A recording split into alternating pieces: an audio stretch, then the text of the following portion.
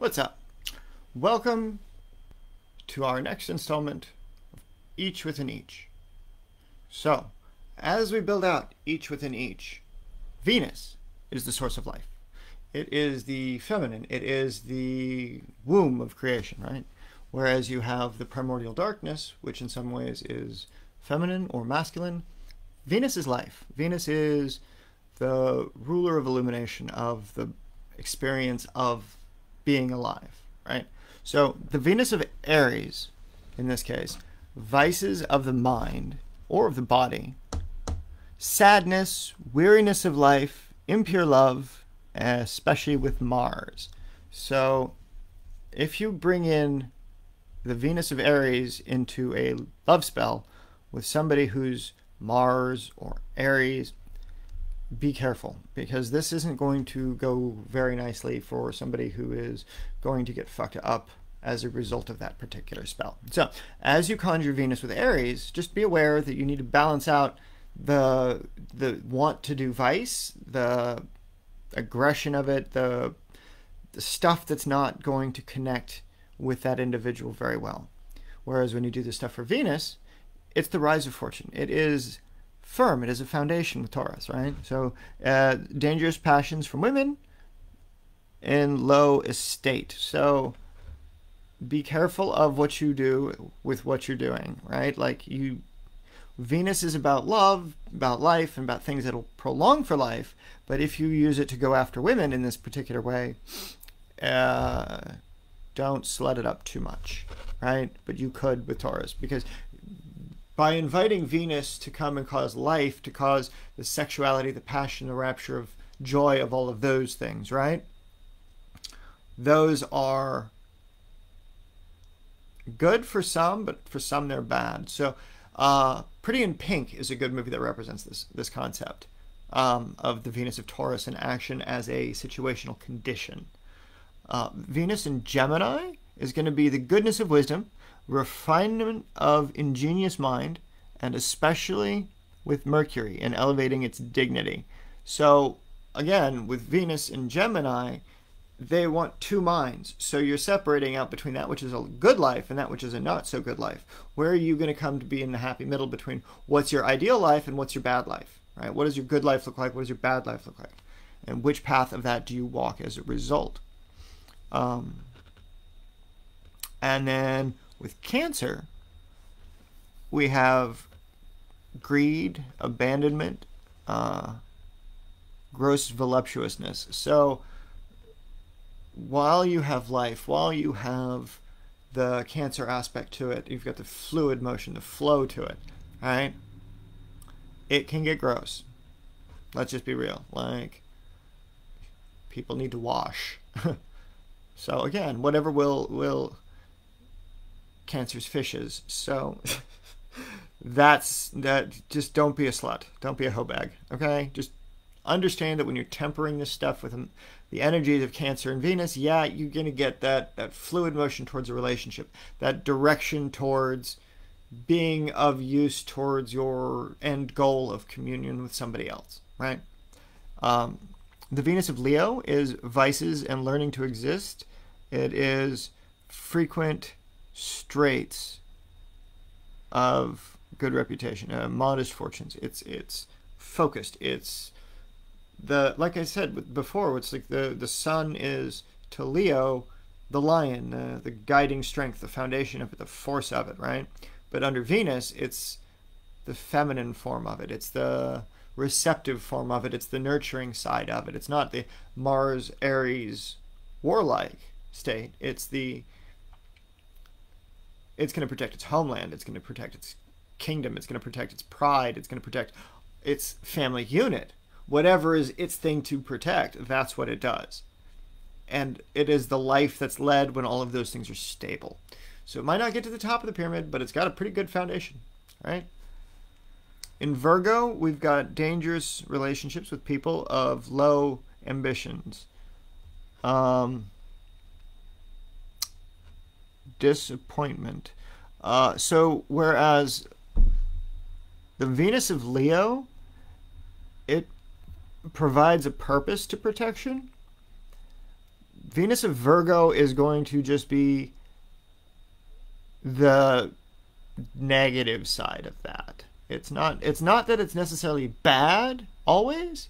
It's just that when you use Venus and Virgo together, that, that that'll be like when you're conjuring up spirits of the dead mobsters, right? It's like I got an offer you can't refuse. Like that's what you can do with it. So if you need to force a change of something, you need to work directly on something. You can use the life quality within Venus and Virgo to bring that out to make those threads occur.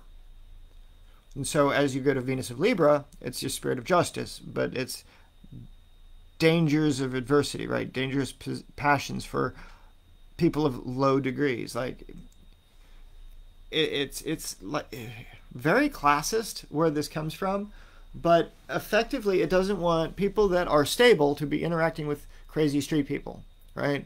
If you're interacting with the crazy street people, they're crazy street people. Like the infrastructure around them has failed the community around them has failed.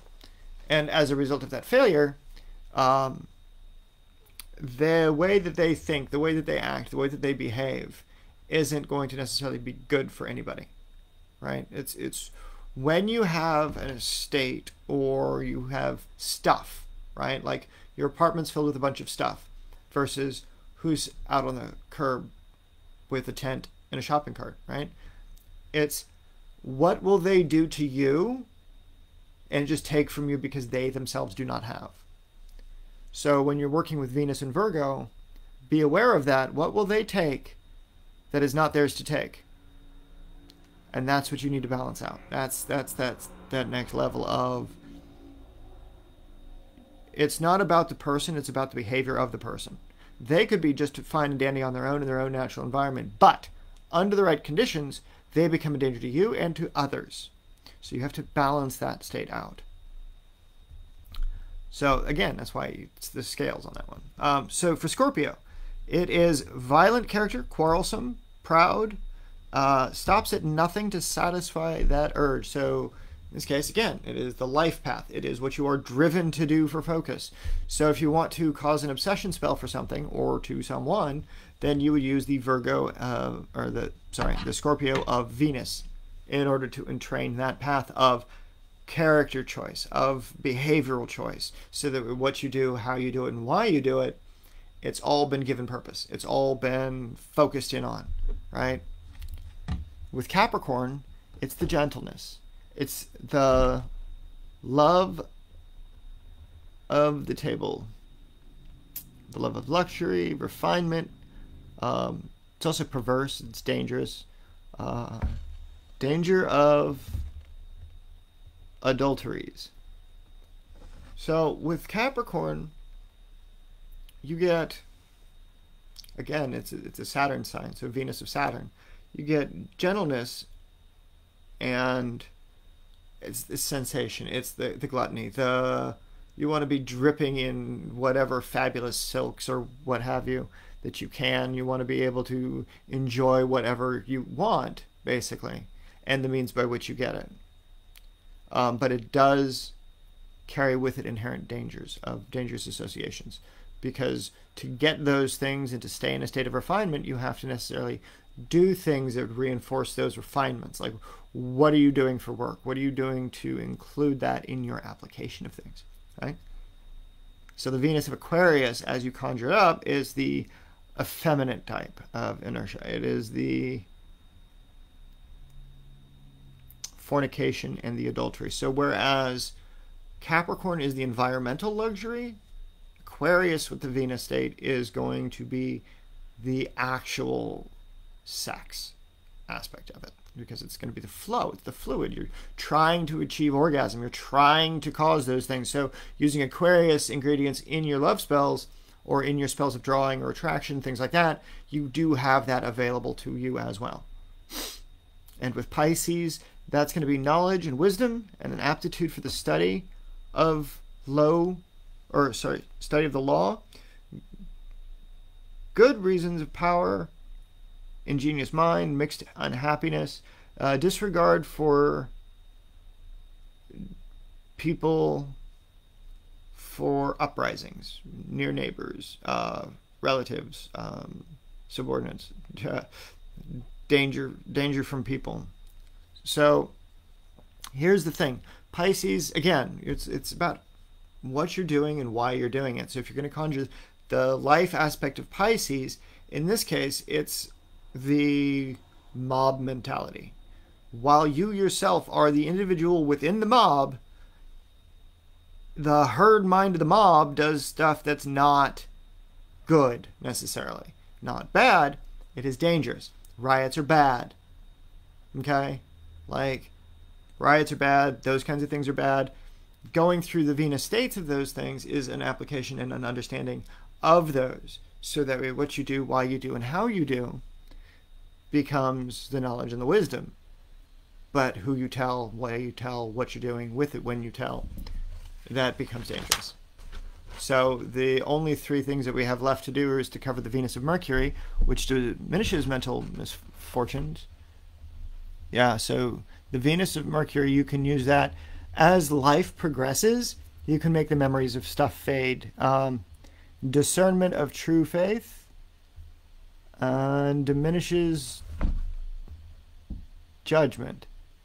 Was the communication. So it it can dull your it's like being drunk so if you're going to conjure something for the mercury of venus that's the one you want to use if you want to cause an inebriated state right so if you want to get into somebody's dreams in their head you can use venus and mercury to crack open their subconscious and jupiter in this case is the protection from high risk so what will protect your risk or what will when you act in life what will you do to protect yourself? What will you do to have your dominion, have your kingdom, right?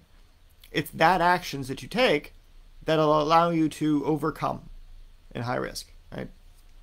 And then the moon is uh, infidelity in marriage, it is adultery and the danger of being brought down uh, to crimes provoked by sensual passions. So that's going to be are you paying a hooker? Straight up. Like, be careful with that one. So, Venus in its feminine state and Moon in its feminine state draws out the lack of commitment, right? It it it's it's the thing of polyamory, like a good old fashioned bacchanal, right? Like just everybody's fucking in every hole, right? Like just whatever. Those are the energies that you get. And like discussed before, each within each, with the sun, it's a focus of life. It's a focus of the love. You can you can get that sunbeam directly on somebody. With Mars, it's the right thought in action towards that state of love, right? Towards the state of life. What do you think life is to you?